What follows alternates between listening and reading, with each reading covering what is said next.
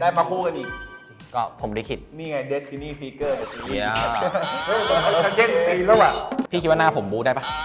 ได้ได้ มันจะไม่ดูเป็นแบบคิตตี้ต่อยปะ ไม่มันไม่ได้เหมือนมันไม่ได้อยู่ที่หน้า มันอยู่ที่ inner แล้วก็อยู่ที่บทอ๋อโอเคโอเค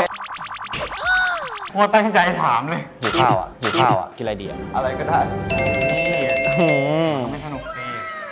อยากพลาดบทสัมภาษณ์สุด exclusive ของพวกเราราชาวิหกอย่าลืมกดไลค์ กด subscribe ช่อง TH Headline อย่าลืมนะครับทุกคน บ๊ายบาย